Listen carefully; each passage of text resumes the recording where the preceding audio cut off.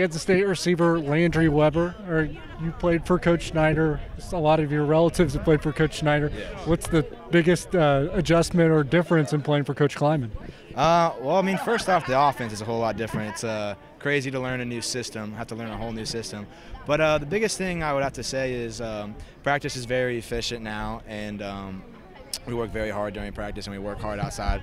But Coach Klieman does a great job of uh, listening to us when we um, when we need stuff, and um, if we want to change a time at practice, he'll consider it that hey maybe maybe we'd rather uh, practice at this time, and he's all for that and stuff. But the coaching staff's just been amazing. Um, really enjoyed getting to know them.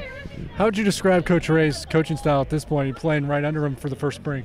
Uh, Coach Ray is awesome. I've really enjoyed it. He's got a really upbeat attitude. He's always upbeat in the meetings. Uh, really good time in the meetings, and he's always just kind of picking you up. But you trust that he's hard on us, and he'll tell us when when uh, when we're doing wrong. But it's in a positive way that it keeps your spirits up, and it, you know it's a guy that you want to play for.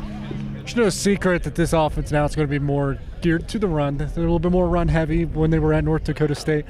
So, if, I mean, if you're a coach, you're playing in it now. What do you tell receivers that are recruits? And you know, hey, you know, I might not get the ball as much. Um, what I would really say is they're going to go to the playmakers. So if you're a playmaker, they're going to go to you. If uh, our receivers are the best players we have, then we're going to start throwing the ball around. If our running backs are our strength, then we're going to run it more. The coaches are going to play to our strengths, and I mean, we have the capability to go 10 personnel, 11 personnel. So the coaches will do whatever we need to do to win. It's the first time talking to you this spring. Is there kind of any new, play, not necessarily new players, but guys that really jumped off the page and seemed to take bigger leaps this spring on this team? I say Seth Brooks, uh, Seth Porter, and uh, uh, shoot, um, Brooks. Philip, Philip Brooks. Brooks. Sorry, Philip. I know your name. I swear. But Philip Brooks is doing great. Those two guys have really stepped up. Uh, they've been doing a great job. Harry Trotter stepping in, and uh, James have also been stepping in at the running back position. They've been doing an awesome job. All right. Thanks, Landry. Appreciate it.